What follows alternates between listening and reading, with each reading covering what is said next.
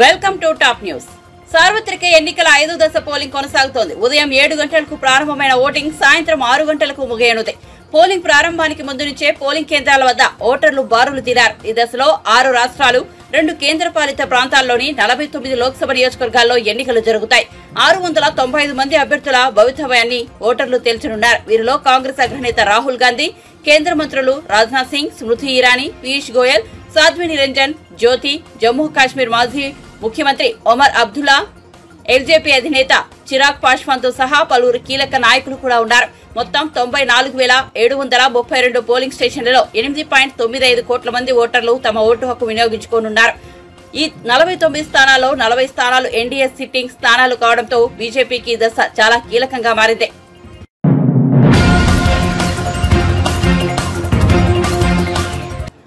ఓట్ల లెక్కింపు ప్రక్రియ ముగిసేంత వరకు కూటమి పార్టీల శ్రేణులు అప్రమత్తంగా ఉండాలని జనసేన పార్టీ ప్రధాన కార్యదర్శి కె. నాగబాబు విజ్ఞప్తి చేశారు. ఈవీఎంలు భద్రపరిచిన స్ట్రాంగ్ రూమ్ల వద్ద పార్టీల ప్రతినిధులు పహారా ఉండాలని కోరారు. ఓడిపోయాక కూడా జగన్ కుర్చీ వదిలేందుకు సిద్ధంగా ఉండబోరని అన్నారు. ఎన్నికల్లో దాదాపు ఎనభై రెండు శాతం ఓట్లు పోలవడం ప్రజాస్వామ్య విజయంగా అభివర్ణించారు. ఇదే సమయంలో ప్రజలంతా చాలా అప్రమత్తంగా ఉండాలని ఓటమి కళ్ళ ముందు కనిపించడంతో వైఎస్ఆర్సీపీ శ్రేణులు ఎంతటి అరాచకానికి ఒడిగడుతున్నారో పల్నాడు తాడిపత్రి తిరుపతిలో చూశామన్నారు. మాట మనం వింటూ ఉంటాం. ఈ జగన్మోహన్ రెడ్డి కూడా ఆ కోవలోకి వస్తాడో లేదో తెలియదు కానీ ఖచ్చితంగా అతను ఒక సోషియోపాత్. ప్రజలను కులాలుగా వర్గాలుగా పార్టీల వారీగా విడదీసి చిచ్చులు పెట్టి ఆనందించే రకం.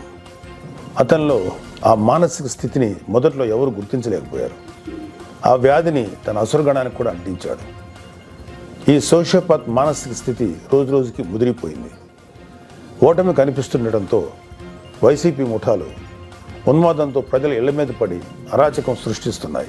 మాచర్ల వైసీపీ ఎమ్మెల్యే సంబంధీకుల ఇళ్ళలో పెట్రోల్ బాంబులు దొరికాయంటే ఫలితాలు వచ్చాక వీళ్ళు ఎంత రాక్షసత్వానికి తెగబడబోతున్నారో ప్రజలు గ్రహించాలి. తాడిపత్రిలో పోలీసులు కూడా తమను తాము రక్షించుకునేందుకు అగచాట్లు పడ్డారు. అంటే వైసీపీ ఎంతగా రెచ్చిపోతుందో అర్థం చేసుకోవాలి. వైసీపీకి ఓటు వేయలేదని తెలిసి ఇళ్ళలో చొరబడి మహిళలను పిల్లల్ని అందరినీ చావుగొట్టే పైశాచికత్వాన్ని పెంచింది ఎవరు? ఖచ్చితంగా ఈ జగన్మోహన్ రెడ్డి అనే చెప్పాలి. విశాఖపట్నంలోని కంచరపాలెంలో ఓ కుటుంబం కూటమి అభ్యర్థులకు ఓటు వేసిందని తెలిసి వైసీపీ గుండాలు ఆ ఇంట్లో మహిళలను చదువుకుంటున్న పిల్లలపై దుర్మార్గంగా దాడి చేసింది. గర్భంతో పుట్టింటికి వచ్చిన మహిళపైన తీవ్రంగా దాడి చేశారు. అంటే వైసీపీ రాక్షసత్వం ఏ స్థాయిలో ఉందో తెలుసుకోండి. ఇలాంటివన్నీ తెలుసుకొని చిక్కటి చిరునవ్వులు చెందించే వ్యక్తిని ఏమనాలి? మహేష్ బాబు స్పైడర్ సినిమాలో విలన్ సూర్య గుర్తొస్తున్నాడు కదూ? ఉత్తరాంధ్ర నుంచి రాయలసీమ వరకు ఎన్నికల అనంతరం హింసను ప్రేరేపించడంలో వైసీపీ ఓటమి కనిపిస్తుంది. రాబోయే ఓటమిని కప్పిపుచ్చుకునేందుకే ఈ దాడులు చేస్తుంది. ఈవీఎంలు భద్రపరిచిన స్ట్రాంగ్ రూమ్స్ దగ్గర కూడా భద్రత పటిష్టంగా ఉంచాలి. అక్కడ సెంట్రల్ గవర్నమెంట్ వారిది మూడించుల సెక్యూరిటీ ఉంది అయినా కూడా అక్కడ మన కూటమి పార్టీల ప్రతినిధులు నిరంతరం పహరా ఉండాలి. ముఖ్యంగా మన జన సైనికులకి వీర మహిళలకి నా అభ్యర్థన ఏంటంటే ఎక్కడైతే జనసేన పోటీ చేసిన ప్రాంతాల్లోని ఈవీఎంస్ భద్రపరిచిన స్ట్రాంగ్ రూమ్స్ ఉన్నాయో అక్కడ మన జన సైనికులు వాలంటీరింగ్ చేసి కాపులాగా కూర్చోవాలి. ఈ అవకాశాన్ని ముఖ్యంగా మనం వదులుకోవద్దు వాడుకుందాం. ఈ వైసీపీ దుర్మార్గులను ఏ దేశంలోనూ తేలిగ్గా తీసుకోవద్దు. వాళ్ళు ఏ అరాచకానికైనా దౌర్జన్యానికైనా తెగబడతారు. ఆ మధ్యన అంటే రెండు మూడేళ్ళ క్రితం అమెరికన్ ప్రెసిడెన్షియల్ ఎలక్షన్స్లో కూడా ఎక్స్ ప్రెసిడెంట్ డొనాల్డ్ ట్రంప్ ఇలాంటి లక్షణాలే కనబరిచాడు.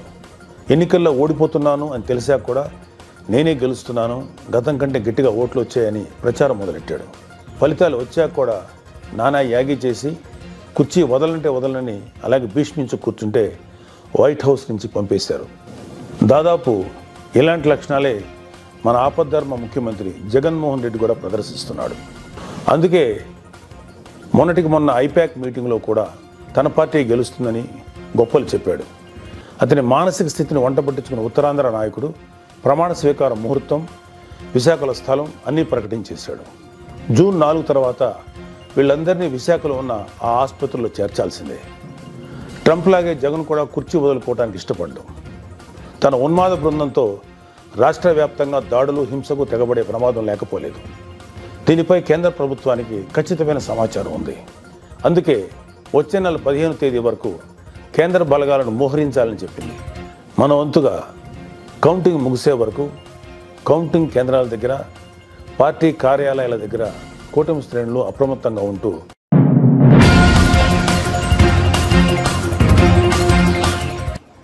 రాష్ట్రంలో ఇప్పుడు కావాల్సింది అధికార స్వరం వినిపించే వాళ్ళు కాదు. గల్లా పట్టి అడిగేటోళ్ళు ఉండాలి అని బీఆర్ఎస్ వర్కింగ్ ప్రెసిడెంట్ కేటీఆర్ అన్నారు. భువనగిరి జిల్లాలో భువనగిరి ఆలేరులో ఆదివారం నిర్వహించిన వరంగల్ ఖమ్మం నల్గొండ పత్రభద్రుల బీఆర్ఎస్ సన్నాహక సమావేశానికి ముఖ్య అతిథిగా హాజరై ప్రసంగించారు. రేవంత్ రెడ్డికి బాకా ఊదేవాళ్ళు కావాలా మేధావులు కావాలా బ్లాక్ మెయిలర్ లాబియింగ్ చేసి పైశాచిక ఆనందం పొందేవారు కావాలా ప్రజా సమస్యలు పరిష్కరించే వాళ్ళు కావాలా ఆలోచించాలని సూచించారు. కాంగ్రెస్ అభ్యర్థి తీర్మార్ మల్లన్న జిల్లా మంత్రి కోమటిరెడ్డి వెంకటరెడ్డిపై రైతు బంధు అడిగితే చెప్పుతో కొడతామని అన్నారని ఇలాంటి తప్పుడు వ్యక్తులకు చెప్పుతో కొట్టేలా సమాధానం చెప్పాలని అన్నారు. మండలిలో దానికి భిన్నంగా నాలుగు రకాలుగా అక్కడ శాసన మండలి అభ్యర్థుల ఎంపిక జరుగుతుంది. ఒకటి గెలిచిన ఎమ్మెల్యేలు కొంతమందికి శాసన మండలికి అభ్యర్థులను ఎంపిక చేసే అవకాశం ఉంటుంది. ఇప్పుడు నేను జగదీష్ ఎమ్మెల్యేలు కాబట్టి మాకు కూడా కొంతమంది శాసన మండలిని అభ్యర్థులను ఎంపిక చేసే ఓటర్లం మేమవుతాం దాని తర్వాత ఇంకొక విభాగం ఏముంటుందంటే గవర్నర్ గారు కొంతమందిని నామినేట్ చేసే అవకాశం ఉంది. కొంతమంది సమాజంలో లబ్ధ ప్రతిష్ఠులైన వ్యక్తులు పెద్దవాళ్ళు ఉన్నత చదువులు చదివిన వాళ్ళు వాళ్ళు శాసన మండలిలో ఉండడం వల్ల అప్పర్ హౌస్లో ఉండడం వల్ల రాష్ట్రానికి మేలు జరుగుతుంది దేశానికి మేలు జరుగుతుంది అనుకుంటే అట్లాంటి వారిని నామినేట్ చేసే అవకాశం ఉంటుంది. మూడో మూడో కేటగిరీ టీచర్ ఎమ్మెల్సీ. టీచర్లు తమ తమ సమస్యలు నివేదించడానికి తమ సమస్యలను ప్రస్తావించడానికి టీచర్ కాన్స్టిట్యున్సీలు ఉన్నాయి మూడు టీచర్ కాన్స్టిట్యున్సీలు ఉన్నాయి. మూడు జిల్లాలకు ఒకటి చొప్పున వాటికి టీచర్లే ఓటర్లు. నాలుగో కేటగిరీ విద్యావంతుల సమస్యలు. చదువుకున్న విద్యావంతుల సమస్యలను గ్రాడ్యుయేట్ల సమస్యలను అంటే ఉపాధి కల్పనకు సంబంధించి కానీ ఉద్యోగాలకు సంబంధించి కానీ లేదా ఆల్రెడీ ఉద్యోగంలో ఉంటే సర్వీస్ పరమైన సమస్యలు కానీ వీటన్నిటినీ లేవనెత్తడానికి ఒక మంచి గొంతు మంచి వ్యక్తి అక్కడ ఉండాలనడానికి ఈ నాలుగో కేటగిరీ ఇవాళ తమ్ముడు రాకేష్ రెడ్డి గారు పోటీ చేస్తున్న గ్రాడ్యుయేట్ కేటగిరీ ఆ కేటగిరీలో ఉంటుంది. మొత్తం కౌన్సిల్లో సారీ ఇంకో కేటగిరీ కూడా ఉంది లోకల్ బాడీ ఎమ్మెల్సీ. అంటే ఎంపీటీసీలు జెడ్పీటీసీలు కౌన్సిలర్లు తమ తమ తమ తమ బాధలు సమస్యలు ప్రభుత్వం దృష్టికి తీసుకొని రావడానికి లోకల్ బాడీ ఎమ్మెల్సీని కూడా ఎంపిక చేసే అవకాశం ఇంకో కేటగిరీ కూడా ఉంది. మొత్తంగా ఐదు కేటగిరీల్లో శాసన మండలిలో అభ్యర్థులు ఉంటారు. మొత్తం నలభై మంది ఎమ్మెల్సీలు ఉన్నారు ఈరోజు మన శాసన మండలిలో. నేను మీ అందరినీ ప్రార్థించేది ఏంటి అంటే మనం ఎవరి కోటేస్తున్నాము అనేది పార్టీతో పాటు అభ్యర్థి గుణగణాలు కూడా తప్పకుండా చూడవలసిన బాధ్యత తప్పకుండా ఒకసారి ఆలోచించి ఓటు వేయాల్సిన బాధ్యత విద్యావంతులుగా మనందరి మీద కూడా ఉంటుంది. ముందుగా ఈ నల్లగొండ ఖమ్మం వరంగల్ ఈ మూడు జిల్లాల్లోని గ్రాడ్యుయేట్ సోదరులందరికీ ముందుగా నేను హృదయపూర్వకంగా ధన్యవాదాలు తెలియజేస్తా ఉన్నా. ఎందుకంటే నాలుగు పర్యాయాలు ఎన్నిక జరిగింది ఈ కాన్స్టిట్యున్సీ ఏర్పడ్డప్పటి నుంచి. నాలుగు సార్లు ఎలక్షన్ జరిగింది. నాలుగింటికి నాలుగు సార్లు గులాబీ కండు అనే ఎగిరే విధంగా తీర్పునిచ్చిన మీకు హృదయపూర్వకంగా నేను ధన్యవాదాలు తెలియజేస్తా మొదటి రెండు సార్లు ఆనాడు కపిలవాయి దిలీప్ కుమార్ గారిని ఎమ్మెల్సీగా మీరే గెలిపించినారు ఉద్యమ టైంలో. ఆ తర్వాత మరి తెలంగాణ ఏర్పడ్డ తర్వాత శాసన మండలికి రెండు సార్లు గ్రాడ్యుయేట్ ఎమ్మెల్సీగా డాక్టర్ పల్లా రాజేశ్వరరెడ్డి గారిని కూడా మీరే గెలిపించినారు. మరి ఈరోజు తమ్ముడు విద్యావంతుడు బిట్స్ పిలానీలో ఎంఎస్ చేసిన ఒక ఉన్నత విద్యావంతుడు పిలానీలో విద్యాభ్యాసం చేయడమే కాకుండా తాను ఒక సామాన్య రైతు కుటుంబం వరంగల్ పక్కనే వర్ధనపేట నియోజకవర్గంలో వంగపహాడ్ అనే ఊరుంటుంది. ఆ ఊరిలో ఒక సామాన్య రైతు కుటుంబం నుంచి వచ్చిన మొదటి తరం నాయకుడు తమ్ముడు రాకేష్ రెడ్డి. మీలో ఒకడు అందులోంచి వచ్చిన తమ్ముడు చదువుకున్నాడు. సొంతంగా విద్యాభ్యాసం కూడా బిట్స్ బిలానీలో ఏ పైరవి లేకుండా మంచి మార్కులు సంపాదించి బిట్స్ బిలానీలో సీట్ సంపాదించుకున్నాడు. బిట్స్ బిలానీలో గోల్డ్ మెడల్ సాధించిన తర్వాత అక్కడి నుంచి అమెరికాలో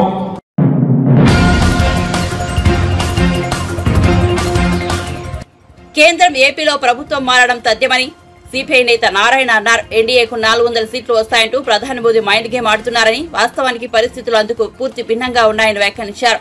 ఐదేళ్ళ పాలనలో జగన్ చేసిన అవినీతి కారణంగా ఏపీలో ఆయన ఓడిపోతారని జోషం చెప్పారు. ఓడిపోతుంది. అన్ని సీట్లు కాంగ్రెస్ పార్టీ ఆమ్ ఆద్మీ పార్టీ పార్టీస్గా వస్తాయి. అది ఒక మంచి పరిణామం. కేంద్రంలో దాదాపు నాలుగు వందల సీట్లు నాలుగు వందల సీట్లు చెప్పేసి పదే పదే ఒక సైకలాజికల్ వార్ మైండ్ గేమ్ చేస్తున్నారు. అది అది ఇప్పటికీ బీజేపీలో టాప్ లీడర్స్తో సహా మాట్లాడుతున్నప్పుడు అర్థమైంది. నార్త్లో ఫిఫ్టీ పర్సెంట్ ఓడిపోతున్నారు. యూపీలో ఎంపీలో రాజస్థాన్లో మిగిలిన హర్యానాలో ఇవన్నీ కూడా ఫిఫ్టీ పర్సెంట్ పైన ఓడిపోతున్నారు. వాళ్ళకి సౌత్ ఇండియా మీద ఎక్కువ ఆశ పెట్టుకున్నారు. సౌత్ ఇండియాలో జీరో. ఏదైనా వస్తే ఆంధ్రప్రదేశ్లో చంద్రబాబు నాయుడు దయ వల్ల ఒకటి రెండు సీట్లు వస్తే రావచ్చు తప్ప బీజేపీకి. మిగిలిన సౌత్లో వాళ్ళు రావు. మహారాష్ట్రలో అదే పరిస్థితి. కేంద్రంలో రాజకీయ మార్పిడి తథ్యం ఆంధ్రప్రదేశ్లో కూడా రాజకీయ మార్పిడి తథ్యం. డబుల్ ఇంజన్ డబుల్ ఇంజన్ అని చెప్పేసి గొడవ పెడతారే డబుల్ ఇంజన్ అసలు ఇంజనే పోతుంది అక్కడ ఢిల్లీలో. వాళ్ళు గెలిచేటువంటి అవకాశం ఇట్టి పరిస్థితులు లేదు. అన్నయ్య ఆ కారణం కాల్కులేషన్ చెప్తాను దానికి కారణం లేకపోలేదు. మోడీ ఉపన్యాసాల సరళి. ప్రారంభంలో మధ్యలో ఇప్పుడు జరుగుతున్నటువంటి ఉపన్యాస సరళి చూస్తే నాకు అర్థమైపోతుంది ఓడిపోతాడని ఎట్టి పరిస్థితుల్లో బీజేపీకి గవర్నమెంట్ ఫామ్ చేసేటువంటి శక్తి ఉండదు. అది గ్యారెంటీ. ఎన్ని సీట్లు వస్తారని నేను నేను చెప్పలేదు కానీ గవర్నమెంట్ ఫామ్ చేయలేదు. ఆ సే- అంత పొజిషన్ రాదు. రాజ్యాంగాన్ని ఉల్లంఘించిన వాళ్ళు ఎవరైనా ఉంటే అది ప్రధానమంత్రి హోమ్ మినిస్టర్ పై కాదు. రాజకీయ కక్షతోటి చర్యలు తీసుకోవడం తప్ప నిజమైన నేరస్తుల చర్యలు తీసుకోవడం లేదు. ఇప్పుడు కేజ్రీవాల్ని అరెస్ట్ చేసి లోపలేశారు వాడు అంటే వంద కోట్ల రూపాయల స్కామ్ అది. జార్ఖండ్ ముఖ్యమంత్రి రెండు మూడు వేల కోట్ల రూపాయలు అవినీతి. అతను జైల్లో వేశారు. వేల కోట్ల రూపాయలు చేసిన ఇక్కడే ఉన్నారు కదా. లక్ష కోట్ల రూపాయలు తిన్న బయటికి వెళ్ళిపోయారు. జగన్మోహన్ రెడ్డి లాంటి వాళ్ళు నలభై ఐదు నలభై ఆరు వేల కోట్ల రూపాయల అవినీతితో ఉండి పదకొండు కేసులు పెండింగ్లో ఉన్న అతను బయట హాయిగా ఉన్నాడు. ఈ ఐదేళ్ళ పట్ల మోసాడు. ఈ ఎన్నికలప్పుడు మాత్రమే చివరికి జగన్ ప్రత్యేకంగా మాట్లాడాడు ఒక మాట. ప్రైమ్ మినిస్టర్ అంతమంది ఎప్పుడు మాట్లాడాలి? అది ఎందుకంటే సౌత్ ఇండియా సీట్లు కావాలి. ఇంకా జగన్మోహన్ రెడ్డి అయితే సీట్లు ఇవ్వడు కానీ మిడిల్ ఏజ్లో ఉన్నటువంటి యంగ్ ఏజ్లో ఉన్నటువంటి మహిళలు ఎవరు కానీ జగన్మోహన్ రెడ్డి ఓట్లు వేయలేదు. వాళ్ళకంటే యాంటీ చేస్తారు కసి పెరిగింది. లేకపోతే విదేశాల్లో ఉన్న వాళ్ళు మొదలుకొని ఈ దేశంలోని ఇతర రాష్ట్రాలను మొదలుకొని మొత్తం తెగబడి చోట్లు వేశారు కసి కొద్ది. కసి ఎవరి పని ఉంది? కసి జగన్మోహన్ రెడ్డి పైన ఉంది కసి. పని లేదు. కసి కొద్ది ఓట్లు దానికి కారణం లేకపోలేదు. ఆయన ప్రమాణ స్వీకారం చేసిన మొదలుకొని విధ్వంస కార్యక్రమమే కదా. ప్రజా దర్బారు పగలగొట్టు మొదలుకొని వరుస పెట్టి మొత్తం రివర్సే. ఆయన కొంచెం తెలివితేట ఉండుంటే తెలివితేట లేదని కాదు. తెలివి చాలా ఉన్నాయి. చంద్రబాబు నాయుడు పెట్టిన ప్లాన్ గాన దాన్ని ఇంకా ముందుకు తోసుకెళ్ళి ఉంటే ఆయన పది కిలోమీటర్ స్పీడ్లో స్టార్ట్ అయితే ఈయన వంద కిలోమీటర్ స్పీడ్ కానీ లాక్కుంటూ ఉంటే డెఫినెట్గా గెలిచేవాడు. రాజధాని వచ్చేసి ఉండేది. పోలవరం వచ్చేసి ఉండేది కడప శిల్ప ప్లాంట్ ఉండేది రాష్ట్రం అభివృద్ధి అయ్యి ఉండేది ఎంతసేపు అయినా చంద్రబాబు అడుగుపెట్టిన చోట అడుగుపెట్టకుండా అనిపిస్తుంది నెగిటివ్ కొట్టాడు. అంటే నెగిటివ్ ఆలోచనే. అవినీతిని ఇన్ని రకాలుగా చేయొచ్చా అనేటువంటిది జగన్మోహన్ రెడ్డి నేర్చుకున్నాను అంటే ఇప్పుడు మోడీ చెప్పాడు కదా is land mafias mines mafia అని చెప్పి చెప్పాడు కదా. ప్రైమ్ మినిస్టర్ చెప్పాడు. అవినీతి చెప్పాడు. మరి ప్రైమ్ మినిస్టర్ అవినీతి చెప్పినప్పుడు ఆయన అరెస్ట్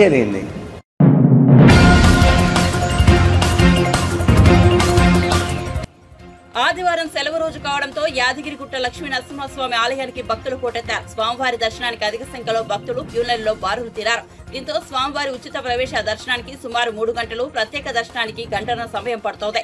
ప్రసాద్ విక్రయాలశాల సత్యనారాయణ స్వామి వ్రత మండపం కొండ కింద విష్ణు పుష్కరిణి కారు పార్కింగ్ బస్టాండ్లలో భక్తుల సందడి నెలకొంది.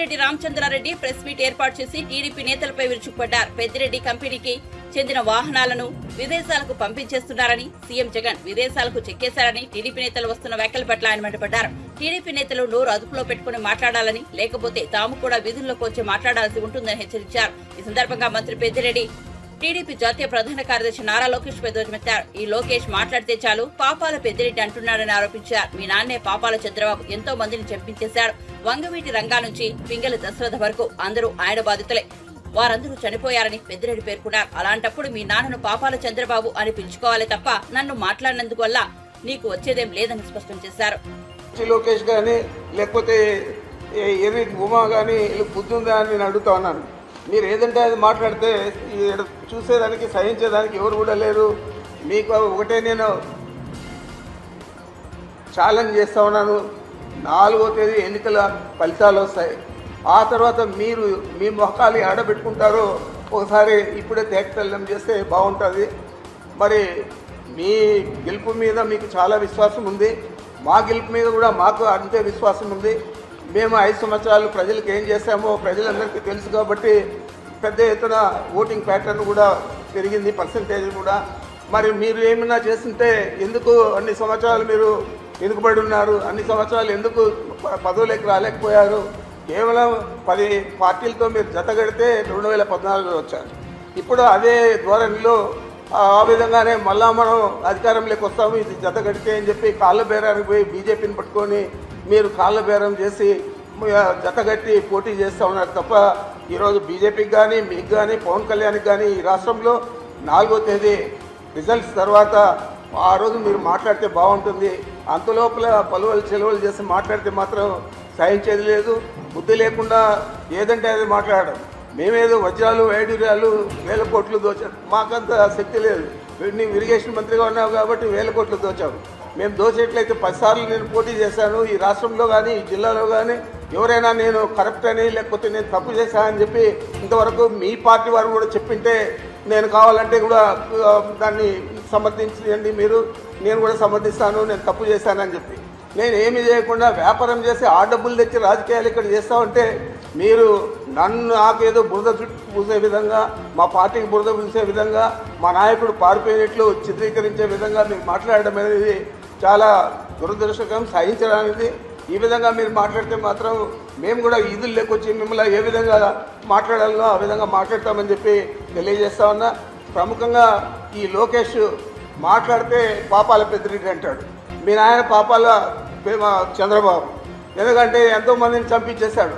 ఎంతోమంది పాపం అందరూ కూడా ఈయన వల్ల మనం వంగవేట రాధా కాడి నుంచి చాలామంది పింగళి దశరథ కాడి నుంచి అందరూ కూడా నీ బాధితులే అందరూ కూడా చనిపోయారు. మరి మీ నాన్నను పాపాల చంద్రబాబు అని మాట్లాడాలి తప్ప నన్ను మాట్లాడితే నీకు వచ్చే ఇదేం లేదు. ఈ రాష్ట్రంలో కానీ మన జిల్లాలో కానీ నా గురించి ప్రజలకందరికీ తెలుసు. నేను పాపాల పెద్దిరెడ్డ లేకపోతే మంచి పెద్దిరెడ్డ అనేది. మరి ఈ విధంగా మీరు దుర్భాషలన్నీ ఆడి ఒక రాజకీయ విలువలన్నీ కూడా తగ్గించే విధంగా రాజకీయాల్లో ఉండే రాజకీయ నాయకులందరూ కూడా ఇలాగే ఉంటారు అని చెప్పి మిమ్మల్ని చూసి ప్రజలందరూ కూడా అనుకునే విధంగా మీరు మాట్లాడడం తగదని చెప్పి ఈ విధంగా మాట్లాడితే ఇంకా ఇంతకంటే ఎక్కువగా మాట్లాడగలుగుతామని చెప్పి మీ ఇద్దరికీ కూడా బుద్ధి చెప్తా ఉన్నానని చెప్పి మీకు మనం చేస్తా ఉన్నాను.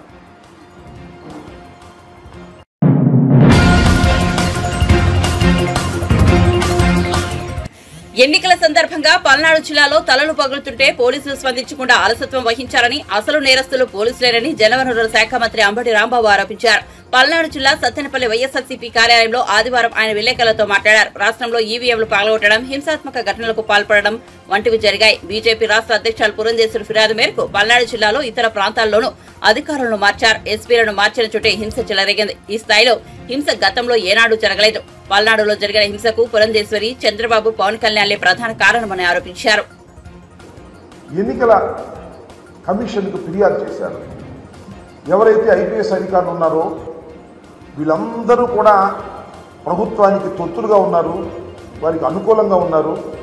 కాబట్టి వారిని మారిస్తే తప్ప నిష్పక్షపాతంగా ఎన్నికలు జరగవు అనేటువంటి ఆర్గ్యుమెంట్ని తీస్తే సహజంగానే ఎన్నికల కమిషన్ కొంత బిలీవ్ చేసి ఉండవచ్చు. ఈ మార్పులన్నీ చేశారు. ఇక్కడ గమనించాల్సిన అంశం ఏమిటంటే ఎక్కడైతే పురంధరేశ్వరి పిటిషన్ మీద మార్పులు చేశారో ఆ ప్రాంతంలోనే హింస ప్రజ్వరిల్లింది. నోట్ దిస్ పాయింట్ ఇవాళ మనం ఫర్ ఎగ్జాంపుల్ అనంతపూర్ తీసుకున్నాం ఫర్ ఎగ్జాంపుల్ పల్నాడు తీసుకున్నాం పల్నాడులో నేను this the third time I'm going to contest మూడోసారి నేను పోటీ చేయబోతున్నాను గత రెండు ఎన్నికల అనుభవం నాకుంది.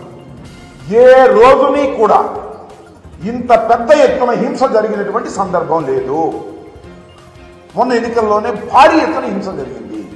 ఎందుకు జరిగింది కారణం ఏంటి కొత్తగా ఎస్పీ వచ్చారు. పాత ఎస్పీ పక్షపాత దూరంతో ఉంటాడని మార్చేశారు. కొత్త ఎస్పీని ఇస్తే బలంగా ఉండాలి కదా? ప్రశాంతంగా జరగాలి కదా? ఎందుకు పూర్వం కన్నా ఎక్కువ హింస జరిగింది అనేది ఇక్కడ పాయింట్ అని మనం చేస్తున్నాం. అంటే ఈ మార్పులు చేర్పుల మీదే కుట్ర జరిగిందా? తెలుగుదేశం భారతీయ జనతా పార్టీ పురంధరేశ్వరి గారు పవన్ కళ్యాణ్ గారు కలిసి కుట్ర చేశారా? కుట్ర చేసి ఈ పిటిషన్లు పెట్టి ఏదొక విధంగా తాము తమ ఓట్లను ఫాల్స్ ఓట్లను గందరగోళాలు చేసి ఓట్లు వేయించుకోవడం ద్వారా గెలవాలని అనుకున్నారా అనేటువంటి సందేహాలు కలుగుతా ఉన్నాయి. ముఖ్యంగా పల్నాడులోకి వస్తే నరసరావుపేట పార్లమెంటు నియోజకవర్గం వైఎస్ఆర్ కాంగ్రెస్ పార్టీకి చాలా strong constituency. Everybody knows it ఏడుకి ఏడు గెలిచాం పోయిన ఎన్నికల్లో. ఇవాళ కూడా ఏడుకు ఏడు గెలిచే పరిస్థితి ఉన్నది అని మాకన్నా బాగా తెలిసిన వ్యక్తి అటు పోటీ చేసిన మా పార్టీ వ్యక్తి ఉన్నదాకా కాబట్టి దీన్ని ఏదో విధంగా నలిపేయాలి అనేటువంటి కుట్రతో ఇదంతా చేశారనేటువంటి భావన కలుగుతోంది. చాలా చిత్రమైన విచిత్రమైన సంఘటన ఏమిటంటే ఎన్నికల కమిషన్ ఎవరినైతే అపాయింట్ చేశారో ఎస్పీలుగా వాళ్ళని సస్పెండ్ చేసిన పరిస్థితి. ఈ చరిత్రలో నేను ఇప్పుడు ఎక్కడ చూడలా.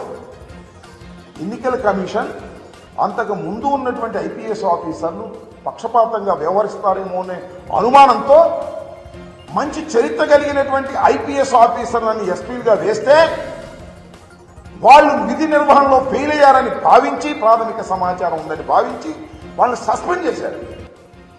ఊరినే బదిలీ కూడా కాదు.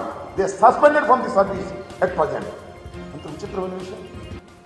దీన్ని ఏ విధంగా భారత ప్రజాస్వామ్యంలో భావించాలని అడుగుతా ఉన్నా? దీని వెనుక నేను ఒకటే మనవి చేస్తున్నా. నేను ఓడిపోతాను అని అనుకున్న రోజున నారా చంద్రబాబు నాయుడు గారు రాక్షసంగా వ్యవహరిస్తాడు. తనకు అధికారం రాదు అనుకున్నప్పుడు హింసను ప్రజ్వలింపజేస్తాడు. ఇది నారా చంద్రబాబు నాయుడు గారి చరిత్ర.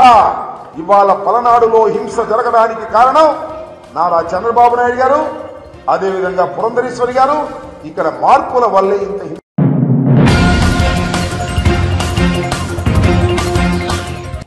ఢిల్లీలోని బీజేపీ ప్రధాన కార్యాలయం ముట్టడికి ప్రయత్నం చేసిన ఆప్ నేతలను పోలీసులు అడ్డుకున్నారు. బీజేపీ కార్యాలయాన్ని ముట్టడించేందుకు ఆప్ విఫల యత్నం చేసింది. బీజేపీ కార్యాలయం వైపు వెళ్ళకుండా సీఎం కేజ్రీవాల్తో పాటు ఇతర నేతలను ఆప్ కార్యాలయం వద్దనే పోలీసులు నిర్వహించారు. దీంతో ఆప్ కార్యాలయం వద్ద ఉధృతత నెలకొంది. బీజేపీ కార్యాలయం వద్ద భారీ బందోబస్తు ఏర్పాటు చేశారు. పోలీసులు అడ్డుకోవడంతో నేతలంతా ఆప్ కార్యాలయం వద్దే బైఠాయించారు. ఈ సందర్భంగా సీఎం కేజ్రీవాల్ మాట్లాడారు. ఆప్ను అంతం చేయాలని బీజేపీ ఆపరేషన్ జూడు కార్యక్రమాన్ని మొదలుపెట్టేది. ప్రధాని మోదీ ఆమ్ ఆద్మీ పార్టీని నాశనం చేయాలనుకుంటున్నారు. ఆప్ నేతల అరెస్టుకు ప్రయత్నం చేస్తున్నారు. పార్టీ బ్యాంకు ఖాతాలను స్తంభింపజేయాలని చూస్తున్నారు. నాకు బెయిల్ వచ్చిన దగ్గర నుంచి మోదీ ఆప్పై విమర్శలు చేస్తున్నారు ఆప్ దేశానికి మంచి పనులు చేస్తుంది ఆప్ మంచి పనులపై దేశం మొత్తం చర్చించుకుంటుంది అయితే ఆప్ కి బీజేపీ నుంచి ముప్పు పొంచి ఉందని కేజ్రీవాల్ మోదీ బీజేపీపై మండిపడ్డారు लड्डू के तहत आम आदमी पार्टी के बड़े नेताओं को गिरफ्तार किया जाएगा गिरफ्तार किया जा रहा है आने वाले समय में आम आदमी पार्टी के बैंक अकाउंट्स को सीज किया जाएगा ईडी का वकील ऑलरेडी कोर्ट में ये बयान दे चुका है कि चुनाव के तुरंत बाद आम आदमी पार्टी के बैंक अकाउंट सीज किए जाएँगे। ये मैं अपनी मर्ज़ी से नहीं बोल रहा। उन्होंने कहा, अभी सीज करने थे, लेकिन अभी हम इनके सीज करेंगे तो इनको सिंपथी मिलेगी। तो चुनाव के बाद वो आम आदमी पार्टी के बैंक अकाउंट सीज करेंगे और आम आदमी पार्टी को दफ्तर खाली करा के आम आदमी पार्टी को सड़क पे लाया जाएगा। ये तीन ये तीन प्लान इन्होंने बनाए हैं। हमारे नेताओं को गिरफ़्तार करने का, हमारे बैंक अकाउंट सीज करने का, हमारे दफ्तर को खाली कराने का। उन्हें लगता है कि वो इस तरह से आम आदमी पार्टी को खत्म कर देंगे। उन्हें लगता है कि वो इस तरह से आम आदमी पार्टी का विनाश कर देंगे।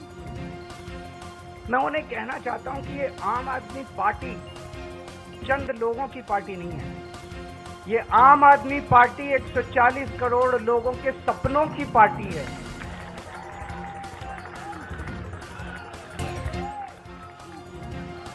आम आदमी पार्टी कोई पार्टी नहीं है। जिस किस्म के काम हम लोगों ने दिल्ली और पंजाब में किए हैं, पचहत्तर साल के अंदर इस देश के लोगों ने ऐसे काम कभी नहीं देखे थे। ये विचारधारा, इस किस्म के काम की सरकार ऐसे भी चल सकती है, सरकार इतनी ईमानदारी से भी चल सकती है।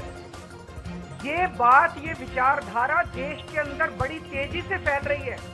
और जो सपने सरकारों को लेके एक आम आदमी इस देश के अंदर देखा करता था, वो सपने अब लोगों को सच होते हुए नज़र आ रहे हैं, ये हो सकता है। दिल्ली के अंदर, पंजाब के अंदर हमने सरकारी स्कूल ठीक करने चालू कर दिए। दिल्ली के अंदर सरकारी स्कूल शानदार कर दिए। गरीब बच्चों को अच्छी शिक्षा मिलने लगी। ये मोदी जी नहीं कर पा रहे। तो उन्होंने तय किया कि इनको रोको। इनको गिरफ़्तार कर लो, मनीष सिसोदिया को गिरफ़्तार कर लो, केजरीवाल को गिरफ़्तार कर लो, इनके स्कूल बंद कर लो